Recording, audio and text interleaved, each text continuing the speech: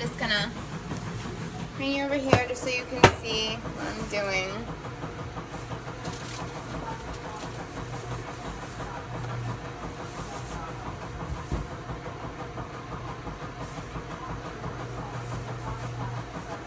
You know what we need to get? One of the little brush things so that when I put olive oil on stuff, I just like, I can brush it. Yeah. You know what I'm talking about? One of those like grill brushes. Yeah, I actually almost got one. Today? No, today. Do you want cilantro on yours? No, not really. I'm not a big fan of cilantro and everything. Alright, yours is gonna be on the end then.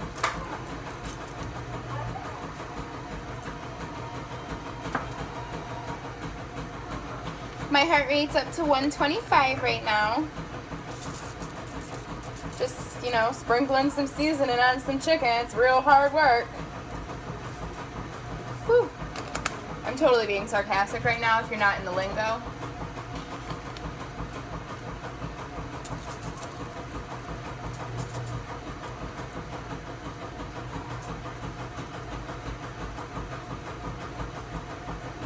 You know what probably made the chicken so good last night was because I put garlic powder and garlic and onion powder on it instead of using fresh. Yeah. Putting red flakes on it.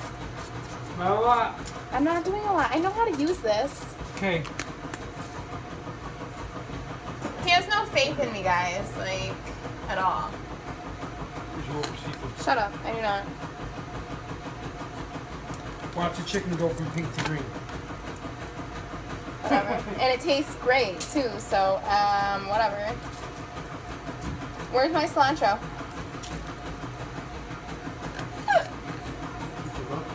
Yeah, it's not up there.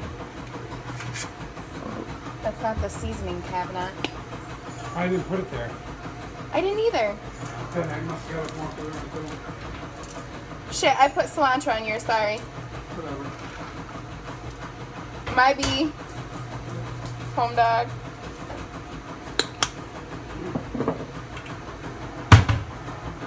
Alright, so hold on a minute.